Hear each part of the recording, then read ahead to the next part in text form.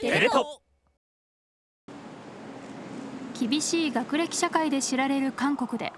日本の大学入試センター試験に相当する試験が全国一斉に行われました。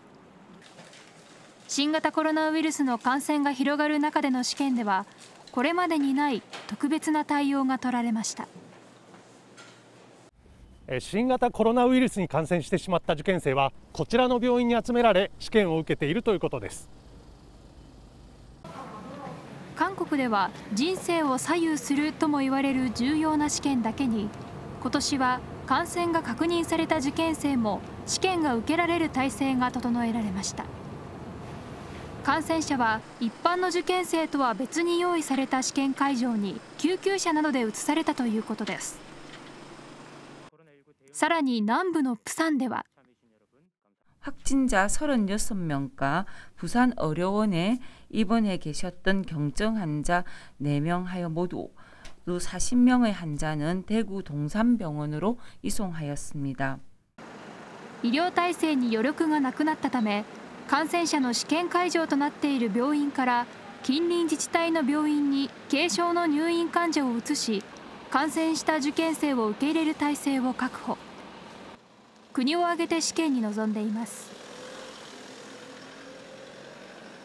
자가격리자와 확진자까지 예외 없이 무사하고 안전하게 수능을 치러낸다면 K 방역의 우수성이 더욱 빛나게 될 것입니다.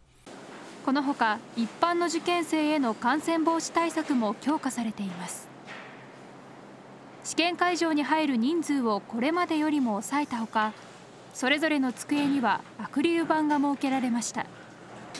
ところがこのアクリル板 受験生を戸惑わせるという懸念も大手学習塾の代表はこう指摘します 이게 아무래도 밀어낼 수가 없으니까 이게 저기 방해 요인이 발생을 하는 거죠. 한국의 수능 시험 역사상 이런 어떤 장애물이 있다 있는 적은 없었던 거죠.